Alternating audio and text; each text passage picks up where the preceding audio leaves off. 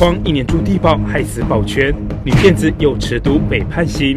好的老师带你住地堡，但不好的老师却害死一名保全。这名从事直销的十九岁女子张凤贵，前年起在脸书张贴炫富照，宣称一年带你住地堡，招揽民众投资。一名二十二岁李姓保全误信术语，联络上他，被他怂恿，将父亲留下的房产向地下钱庄业者严姓男子抵押借款两百五十万元，并签下本票，再将借来的钱全部交给他投资。没想到他却拿去吃喝玩乐，偿还自己的债务。保全后来无力偿还债务。再被延期男子骗签不动产买卖契约，最后就被逼得走上绝路。